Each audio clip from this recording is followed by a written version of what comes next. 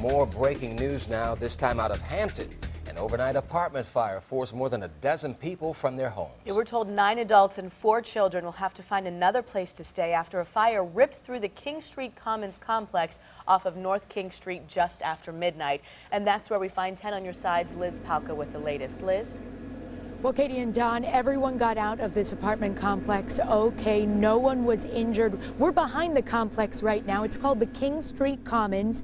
It's right off of North King Street here in Hampton.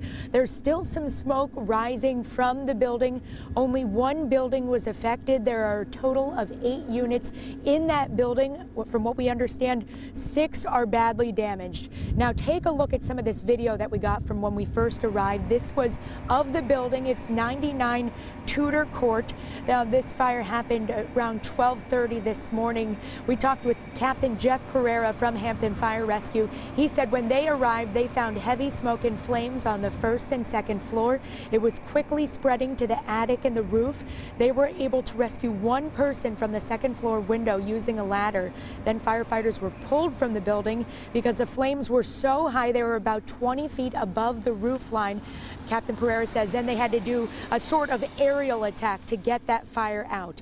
Now there's more to this story. Before the fire crews even got here, neighbors ran to the rescue. We spoke with a man named Marvin Scott. He lives nearby.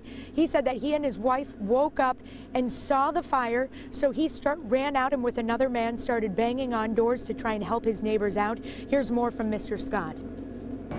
When we went around to the back of the building, we seen a lady that was on the second floor yelling and screaming, help, help, help. And it was so, me. It was me. It, and thank yeah, you. Thank you for saving my life. And uh, me thank and another gentleman had uh, a gentleman was in the apartment with her hang her out and we helped her down.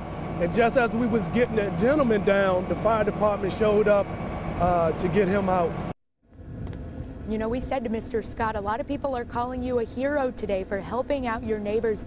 He said he just thanks God that he was able to help his neighbors get out and that he was able to get up, run around, and that, of course, no one died. That is what he's thankful for this morning. Now, Red Cross is on the scene helping some of those residents out.